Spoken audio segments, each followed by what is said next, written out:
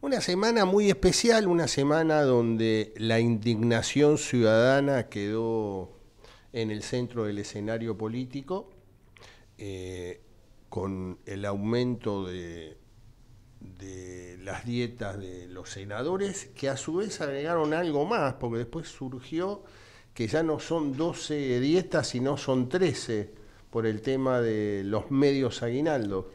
Eh, ¿Sabes lo, lo, terrible de esto? Yo no soy de discutir todo el tema de honorarios, sueldos, eh, dietas, pero que lo hagan de cara a la sociedad.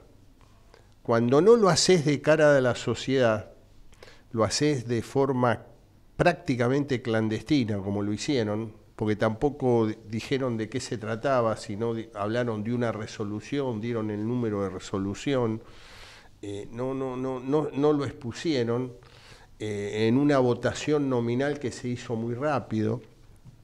Eh, está hablando de que ellos saben que el desencanto, que la bronca, que el hastío que hay con la dirigencia política no se terminó, sigue latente. A pesar de todo esto, el gobierno nacional obtuvo su primer triunfo legislativo desde el 10 de diciembre a la fecha, porque logró el objetivo central, que era la nominación, darle el acuerdo a la nominación de los seis candidatos a embajadores del país, pero fundamentalmente había uno que era central, en la discusión por, las, por todo lo que se había producido en, la comisión de acuerdos, que era el futuro embajador en la República de Israel. O sea que logró el objetivo. Sobre ah, todo por, la locación, ¿verdad? Donde estaría establecida la embajada, que no es un tema menor. Por el tema Jerusalén. Eh, exactamente. Pero, digamos, había tenido serias objeciones había tenido discusiones muy fuertes con la senadora por, por Catamarca, eh, ex eh, gobernadora de esa provincia, Corpachi, y Lucía Corpachi, y también había tenido una diferencia muy profunda con el presidente de la Unión Cívica Radical y senador por la capital, Martín Lustó. Capítulo aparte le pido, que hablemos luego de Lustó. Sí, sí. Porque las redes sociales se lo devoraron, literalmente como un Pac-Man a un fantasmita. Sí, sí. Y me hago cargo de la analogía, eh, digamos. No, no, y yo creo que es así, y esto lo pongo entre paréntesis, creo que le está haciendo muy mal a la Unión Cívica Radical su presidencia. Creo que está bastardeando a un partido centenario, creo que no está a la altura un hombre que privilegia sus intereses personales sobre el interés de todos sus... Eh, sus simpatizantes o afiliados o votantes de la Unión Cívica Radical. Me parece que es un tema, yo creo que en algún momento, en uno de los datos futurar lo dije, esperen noticias porque creo que puede tener efectos políticos importantes la presidencia de Milei en el radicalismo. Creo que está generando demasiadas, demasiadas contradicciones y, y Hablamos de Martín Lustó. Estoy hablando de Martín Lustó y puso al radicalismo, pues yo lo tengo que juzgar como presidente de una institución fundamental, según dice el artículo 38, y puso al radicalismo en el no lugar. El no lugar en política es lo peor que le puede pasar a un político y a un partido político. El no lugar es qué es lo que le estoy diciendo a la sociedad, a quién me estoy dirigiendo. Yo lo dije en su momento, que era muy difícil para la Unión Cívica Radical la figura de, Martín Lustó, porque históricamente, si vos analizás el voto radical, tiene mucho que ver con un voto del interior, con un voto ganadero, con un voto agricultor, con un voto de campo. Muchas veces acompañaron, obviamente con la aparición del PRO se pudo pudo cambiar, pero en general fue un voto siempre muy de clase media. Y pusieron a un presidente que quedó estigmatizado como ser como la figura central y protagónica de lo que fue el enfrentamiento con la resolución 125, en el cual él como ministro de Economía del gobierno de entonces, a cargo de Cristina Fernández de Kirchner, ideó esa, esa resolución. Entonces, digamos, hay una contradicción absoluta entre los intereses, por eso estoy hablando, que es muy peligroso, privilegiar el interés personal, político, de una persona cuando sos presidente del todo, de todos, dentro de ese partido. Digo, a partir de ahí te diría que lo peor que hoy le está pasando a Martín Lustó es que quedó totalmente estigmatizado, a pesar de que todos, de alguna manera, a pesar que hoy están diciendo yo no tengo nada que ver de los senadores, la figura que quedó estigmatizada nuevamente es Martín Lustó. Y si me permite, una consideración que es lingüística, pero que entiendo que en este caso no es menor. Cuando uno habla de a mano alzada, tiene una doble acepción lingüística. Una es levanto la mano. Y la otra, usted que es un señor muy joven como yo, pero sabe que muchas veces se pedía que una nota, por una cuestión grave, por lo que fuere, fuese a mano alzada, lo cual implica ponerle la impronta, implica ponerle la firma. A mano alzada quiere decir con tu propia mano, con tu pulso escrito de la mente hacia la mano, de la mano hacia la tinta y hacia el papel. Y ahí está el compromiso. ese es el compromiso. La actitud de Martín Lustó de semi-esconder la mano, ya que hago el gesto, implica justamente para el común denominador de la gente el esconder tu decisión y el no compromiso. Porque, digo, la lectura lingüística es a mano alzada hasta acá. Es decir, no termino la firma. Es muy complejo de, digamos, de dilucidar por qué tomó esa decisión. Eso que estás planteando, de la forma que lo hizo, de la forma que lo hizo. Es, un sí no.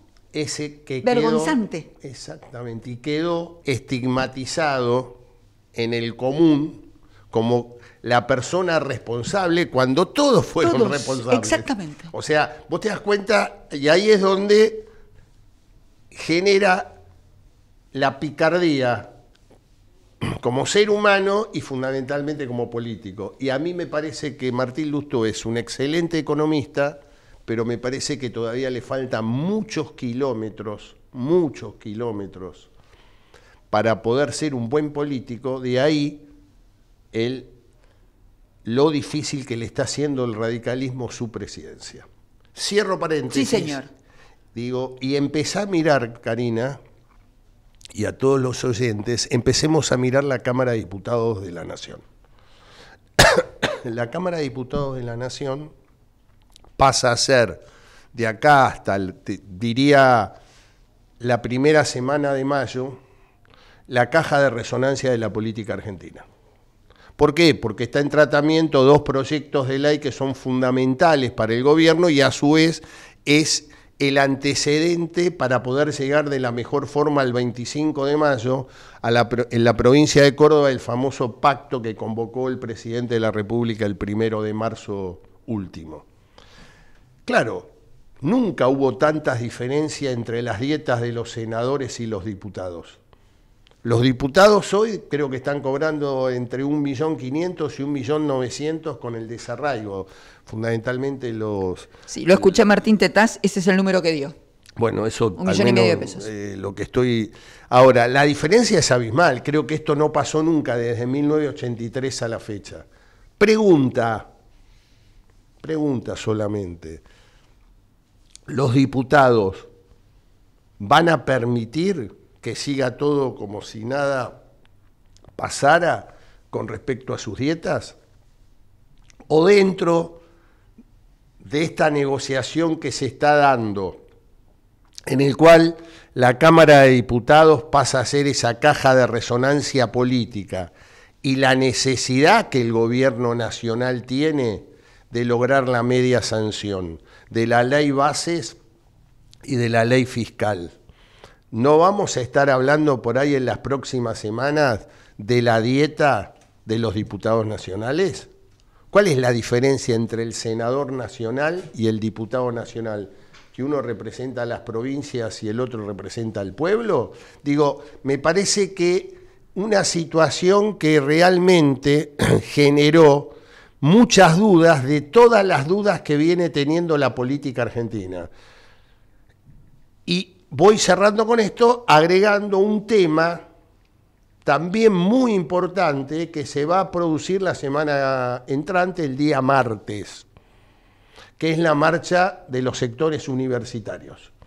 Que creo que también ese hay que seguirlo con mucho detenimiento porque ahí está lo que yo llamo el ADN de la clase media argentina. Siendo que el gobierno llamó a las universidades en las últimas horas para comunicarles del incremento del presupuesto que reclamaban las universidades, porque se redujo, corríjame, en un 40%, no se recompone el 40% completo, pero sí se va a recomponer una parte, a pesar de lo cual se decidió continuar con la marcha, discúlpeme que lo interrumpía, claramente por lo que usted dice, ¿no? El ADN de la clase media argentina. Yo, egresada de la UBA. Yo, creo que yo, y todos los que nos están escuchando, digamos, eh, es uno de los eh, ejes centrales en el en el, de la movilidad social ascendiente que siempre tuvo, digamos, los sectores medios argentinos. Diría que ese es un tema que también habría que discutirlo, pero con un dato, que me parece que esto es lo que tenemos que mirar. Hay mucha movilización a nivel sindical docente, a nivel directivos docente, pero no se ve la euforia histórica que tuvo el movimiento estudiantil. Eso no se está viendo. ¿Por qué marco el tema universitario? Porque en general, en casi todo el mundo, cuando hay una movilización fuerte del sistema universitario, los oficialismos de turno en cualquier país del mundo tienen problemas. Acá lo que se está dando, por eso creo que hay que seguirlo con detenimiento, es... Qué interesante lo que usted está diciendo, súper interesante. Va a haber una participación fuerte del actor protagónico, que es el estudiantado. Bueno, este es un gran signo de interrogación que por ahí el sábado que viene lo podremos seguir analizando para ver lo que es lo que sucede. Y por último, el otro tema que también el gobierno con mucha perpicacia política logró también darle un mensaje a la clase media es el tema de las prepagas. Digamos, lo que se está viendo... ¿No lo acerca el kirchnerismo esta decisión? Lo leí de algunos analistas. Mira, yo el, día jueves en el editorial lo, denominé en Futurar Bienvenido a la política. Bueno, esto es bienvenido a la política. El gobierno tiene Claramente ellos no son, dice el presidente, no es liberal, es libertario, el Estado es un asesino. Ayer dijo para mí una barbaridad que, que felicitaba a los que sacaban el dinero fuera, eh, los dólares fuera del país, digamos, como que la campaña de él es permanente y a veces no asume o no se ubica que es presidente de la República. Digo, pero la necesidad tiene cada derecho. Los sectores medios que tienen obras, eh, que tienen prepagas, muchos de ellos votaron a Javier Milei. Creo que los eh, aumentos fueron exponenciales, creo que como, como todo en la Argentina, el empresariado cuando tuvo el DNU desregulatorio, rápidamente lo primero que hizo es aumentemos, aumentemos, aumentemos, pero tampoco le cambiaron la vida al actor protagónico de la salud que son los médicos. O sea, los médicos siguen, digamos, teniendo serias dificultades para cobrar con mucho tiempo y demás. Digo, en ese escenario el gobierno empieza a percibir y, digamos, de la pureza pasa a la conveniencia y a la práctica. De ahí la resolución que tomaron donde apuntaron directamente contra el sistema de, de prepagas.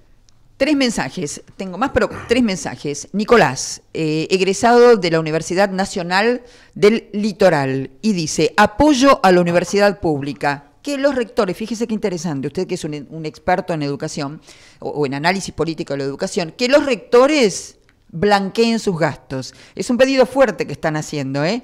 Por el otro lado, Coti no me dice, ah, acá me dice, es de caballito Gracias, es verdad, se contacta con nosotros cada semana. Coti, Constanza, que es de caballito.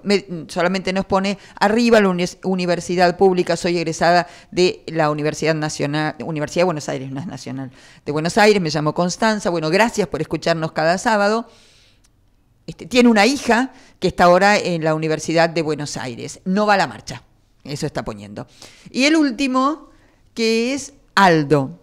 Aldo dice, soy egresado de la Universidad Nacional, muy bien, la Universidad de Río Cuarto, eh, apoyo abiertamente la universidad pública, gastos expurios, pone expurios con ese, no, pone. Eh, bueno, es otro tema para hablar, ¿no? Tengo dos o tres más, pero yo creo que ese es blanquear cómo se gasta. Eh, de hecho, hubo un encuentro, y ya estamos apurudísimos, pero hubo, un, un encuentro verbal entre la colega Guadalupe Vázquez a quien aprecio personalmente, tenemos un, vínculo de amistad más allá de lo profesional, por eso digo, no puedo ser subjetiva, y el vice rector de la Universidad de Buenos Aires respecto de para qué se utilizan los fondos, que a Guadalupe le eh, costó una acción judicial eh, iniciada por sí, el ayer, ayer estaba, estaba viendo en, en redes un, desde un video que, que se dio en la Universidad de Buenos Aires en Económicas, en la Facultad de Economía, en una asamblea donde una estudiante libertaria eh, apoyaba el, eh, el planteo del, de que se, lo que se estaba llevando a cabo para el martes y demás, pero pedía una auditoría. Se viralizó porque lo retuiteó el presidente Milei. Exactamente, y que se transparente en qué se gasta el presupuesto en cada una de las facultades. Bueno, acá dice, bueno, acá me aclara Constanza, nos dice cosas lindísimas, muchas, pero muchas gracias y halagos para con usted también por el formato en el que aborda la temática política, con seriedad, con información. Y es verdad, es cierto, Constanza nos llama, nos manda mensajes desde Caballito, lo recuerdo por eso todos los, los sábados. Eh, pasaron cuatro minutos, desde las once tengo para contar algo que le pido que en 40 segundos usted, eh, no, es algo que no charlamos previamente con Carlos. En esta semana hay un grupo, un círculo argentino de periodistas agropecuarios, fue convocado, eh, desde el círculo decidieron qué periodistas integrantes de ese círculo iban a ir a esa reunión, no todos fueron notificados, es decisión o potestad de quien preside el círculo y, convocó un grupo de periodistas, fueron convocados por Eduardo Serenellini, a la sazón secretario. Hoy ministro, ya. con rango de ministro, a eso iba secretario de Comunicaciones de la Nación, que también ha sido en algunas ocasiones o no, dependiendo de quién hable, cuestionado por mantener reuniones, siendo responsable de comunicación, con empresarios, por ejemplo, de distintos rubros. Convoca empresarios, en primer lugar se dio a conocer una gacetilla que decía que se había reunido con empresarios avícolas, entiendo que eh, la confusión tuvo que ver con que uno de los periodistas que allí estaba es un experto en la cuestión avícola, luego esa gacetilla aparentemente salió corregida, decía empresarios eh, agropecuarios, ahora bien, como a mí me gusta siempre ir a las fuentes, digo que una muy alta fuente de la Secretaría de Bioeconomía, una muy alta fuente, me informó que el área de comunicación de bioeconomía no sabía que se iba a realizar esa reunión. Que el área de comunicación del área de bioeconomía no fue invitada y no participó de esa reunión. Y que el área de comunicación de la Secretaría de Bioeconomía, que es la que se dedica a estos temas y la que naturalmente tiene vínculo con eh, los periodistas especializados en el agro, tampoco fue informada por parte del círculo de esta reunión. ¿Cuántas comunicaciones hay dentro de la comunicación del gobierno nacional? La Secretaría con rango de ministerio, Adorni cercano a Karina Milei, la comunicación de cada secretaría. ¿Quién comunica? No hay política. O sea, el problema que yo sigo viendo, y te lo dije creo que la semana pasada, o, o hace 15 días, yo lo que estoy viendo en la Secretaría de Biodiversidad eh, ya de por sí deja de lado la agricultura y la ganadería. Es secretaría, no es ministerio, en el generador más importante de dólares que tiene la Argentina. Y el problema que yo estoy viendo con todas las situaciones que se fueron dando, con renuncias, con renuncias de funcionarios que todavía no habían sido designados, digo, eh, el, problema central que yo estoy viendo en esa secretaría eh, es que no termina de tener el, el, pulso político que históricamente tuvieron las, los ministerios de Agricultura y Ganadería. Digo, y no estoy cuestionando a la figura del, secretario, o sea, eh, tengo mis mayores de respeto como profesional, pero cuando te sentás en esos cargos, tenés que también saber lo que decía yo en Futurar, bienvenido a la política, tenés que hacer política. Y si en política, o la política, es lo más parecido a la química. Cuando hay espacios vacíos, los espacios se ocupan. Y si el, mini, el secretario de diversidad no ocupa los espacios, van a ser ocupados por, por cualquier otro. En este caso, por un secretario de Estado que quiere demostrar que sigue teniendo poder, porque indudablemente la figura del vocero Manuel Adorni, muy cercano al, al, jefe, como le dice el presidente de la República, Karina Milei, lo va dejando sin espacios. Automáticamente, ¿qué hace el secretario con rango de ministro? Sale a ocupar espacios.